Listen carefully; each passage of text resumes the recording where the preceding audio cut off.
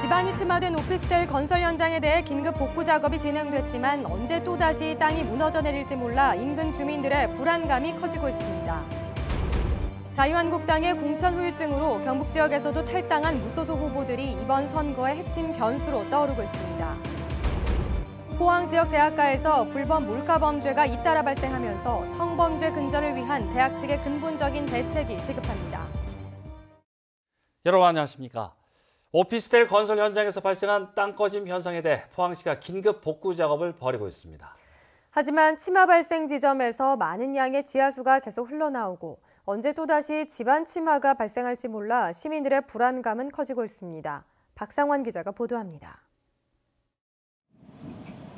땅 꺼짐이 일어난 현장을 장비로 파헤치자 지하수가 콸콸 쏟아집니다. 추가 붕괴를 막기 위해 집안 치마 발생 지점에 시멘트를 주입하고 있습니다. 기울어진 건물의 가스 배관과 전봇대의 전기선도 분리해 제거하는 등 땅 꺼짐으로 일어난 피해 복구도 한창입니다. 하지만 원인으로 꼽혔던 지하수가 계속 흘러나오면서 또다시 땅이 꺼질 수도 있다며 인근 주민들은 불안해하고 있습니다. 땅도 꺼지고 이거 다 꺼져버리는 기라. 꺼지가 지금 곧 붕괴되겠어. 내일 되면 이거 넘어가시 봐요.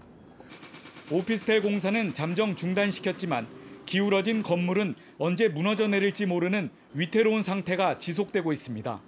영업도 지금 안 하는 걸로 해서 나중에 그 건물에 대한 보상이라든가 피해 부분은 건축주하고 서로 상반간에 협의하는 걸로.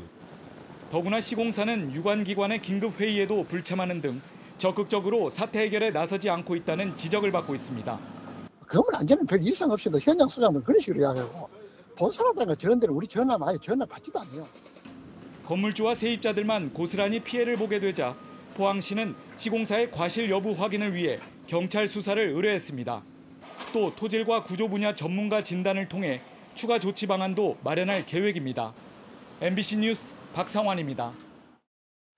더불어민주당 오중기 경북도지사 후보는 오늘 경주에서 기자회견을 열고 경주를 스마트 문화 관광과 동해안 에너지 산업의 거점 도시로 만들겠다고 밝혔습니다.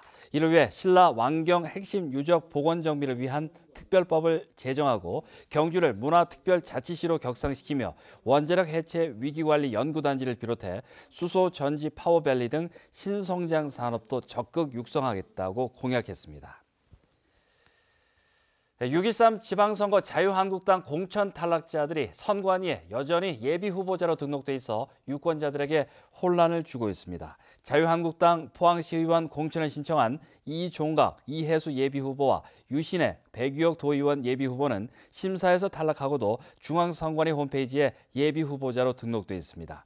경주에서도 이동호, 이성락, 이명수 도의원 후보 3명과 12명의 시의원 후보들이 자유한국당 공천에서 탈락했지만 예비 후보 등록을 철회하지 않고 있습니다. 선관위는 자진 철회를 안내하고 있지만 예비 후보자들이 응하지 않고 있다며 후보 등록일 전인 23일까지는 강제할 수 없다고 밝혔습니다.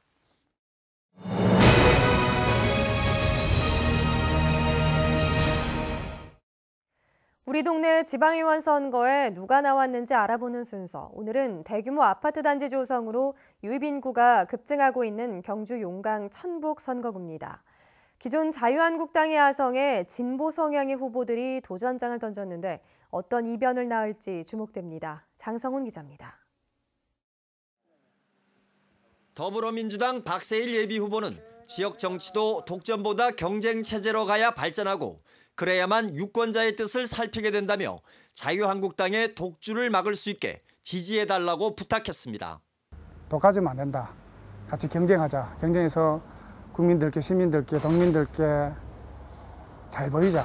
노력하자. 선의 경쟁하자. 그래야지만 이게 질이 더, 높, 질이 더 높아질 수 있다는. 자유한국당 이라구 예비 후보는 인구가 급증하는 용강동의 주거 환경과 교육 여건 개선에 주력하겠다며 주민들의 지지를 호소했습니다. 용왕동은 주민자치센터의 건립과 문화교육 프로그램의 확장을 통해 주민 참여, 활성화와 삶의 질을 높이겠습니다.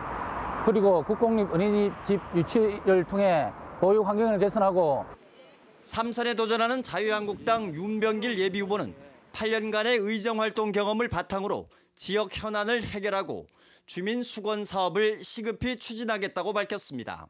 소공항산 둘레길, 어, 성삼 저수지 생태공원, 형산강의 어, 서천 둔치에서 어, 협성 휴포레까지 어, 산책할 수 있는 그런 운동할 수 있는 공간 이런 것을 16년 차 시내버스 운전기사인 민중당 정태준 예비후보는 서민과 노동이 존중받는 사회를 위해 출사표를 던졌다며 버스 공영제와 친환경 무상급식 등 과감한 개혁 공약들을 제시했습니다. 최소한 노동 현장에서 노동자가 존중받았으면 좋겠고요. 우리 아이들이 안전하게 잘, 클, 어, 잘 자랄 수 있는 그런 환경, 우리 학부모들이 어깨를 가볍게 할 수 있는 그런 조례 제정을 필요하, 필요하다 생각합니다.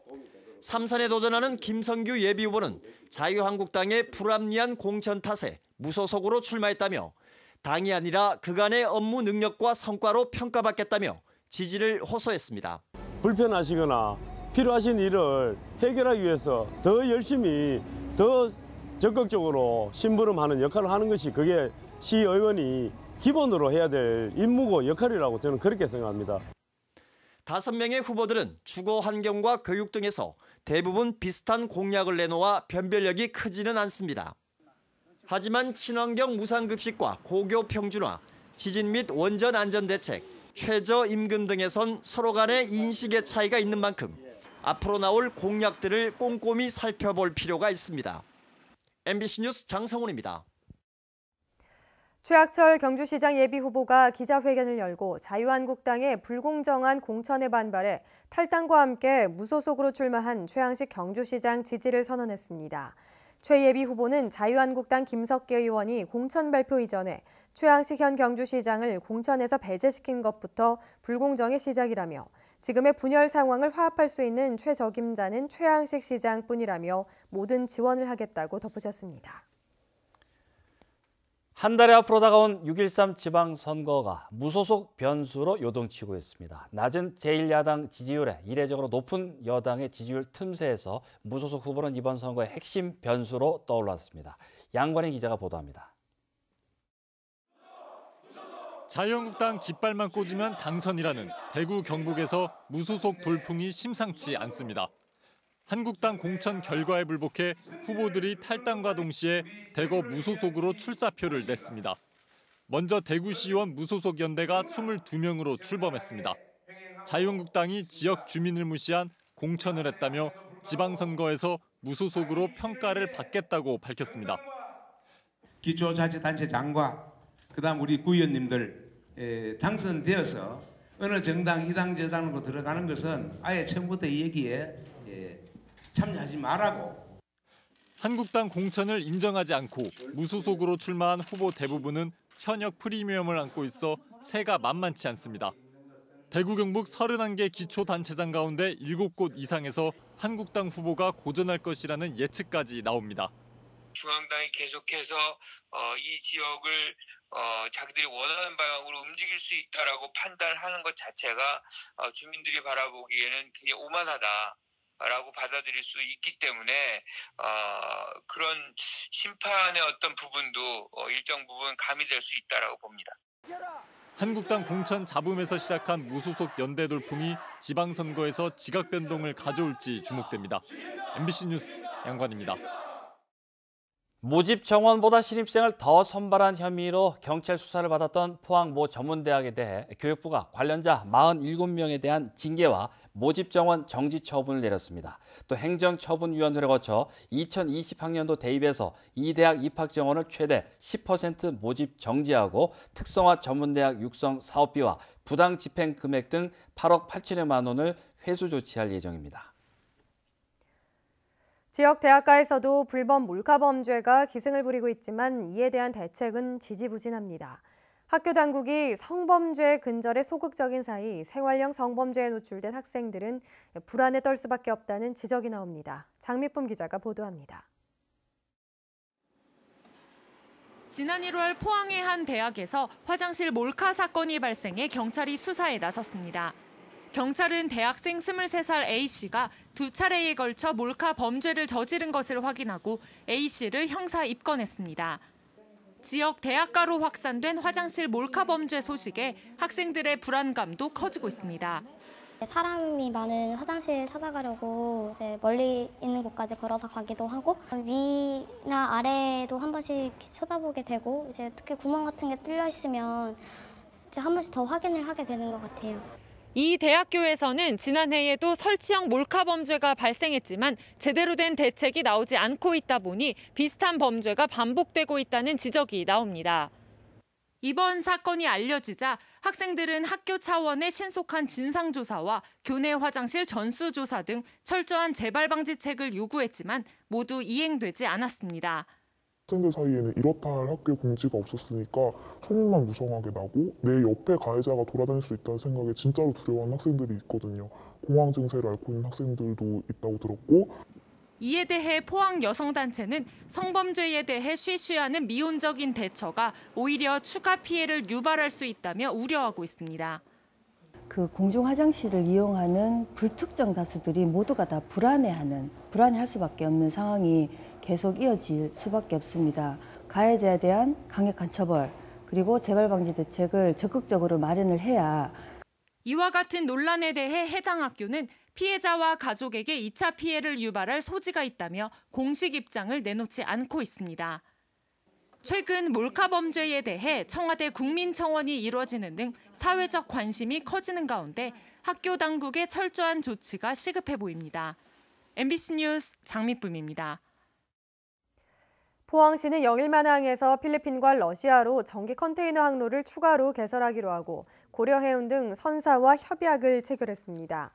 이번에 개설되는 항로는 나진하산 프로젝트 재개에 대비한 포항 블라디보스톡 항로와 동남아 물동량이 증가하고 있는 포항 마닐라 간 항로입니다. 영일만항은 8개국 7개 항로로 노선이 늘어나 남북 경제협력과 북방 교역이 증가하면 동해안 핵심 항만으로 성장이 기대됩니다.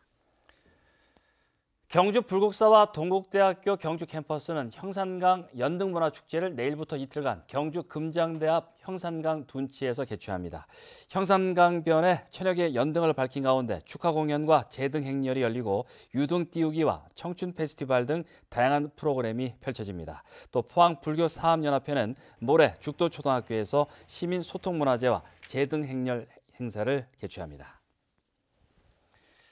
경상북도가 포항 구룡포항과 영덕 강구항 방파제를 점검한 결과 일부 시설이 파손된 것으로 나타났습니다. 구룡포항은 북방파제 곡선부와 벽 일부가 파손됐고 강구항은 북방파제 콘크리트와 비탈면이 파손되거나 유실됐는데 경상북도는 90억 원을 들여 내년부터 보수 작업을 실시할 계획입니다. 오늘 아침은 쌀쌀했지만 낮이 되면서 기온이 크게 올라 따스했습니다. 내일도 따뜻한 봄 날씨가 이어지겠고 토요일 오후부터는 봄비가 내리겠습니다. 안수진 기상캐스터입니다. 오늘 오랜만에 날씨 참 좋다라는 말이 나오는 하루였습니다. 내일은 아침 기온 두 자릿수에서 출발을 하면서 출근길에도 포근하겠고요. 낮이 되면 25도 안팎까지 오르면서 따뜻한 봄 날씨가 이어지겠습니다. 다만 낮과 밤의 일교차는 크게 나기 때문에 건강관리에 신경 쓰셔야겠습니다. 햇빛이 강하게 내리쬐면서 자외선 지수가 매우 높은 단계까지 올라갔는데요. 외출 시에는 자외선 차단제 꼭 발라주시기 바랍니다. 내일 미세먼지 농도는 보통 수준이 예상이 됩니다. 자세한 내일 날씨 알아보겠습니다. 내일 대체로 맑다가 오후가 되면서 구름 많아지겠습니다. 아침 기온 10도에서 15도, 낮 기온은 24도에서 26도입니다. 울릉도와 독도에는 구름 조금 지나겠습니다. 아침 기온 울릉도와 독도 14도, 낮이 되면 울릉도 21도, 독도 16도입니다. 동해상에는 오후가 되면서 구름 많아지겠습니다. 바다의 물결 동해 전해상에서 최고 2m로 일겠습니다. 토요일 오후부터는 빗방울이 떨어지기 시작해서 이 비는 일요일 오전까지 땅을 적시겠습니다. 날씨였습니다.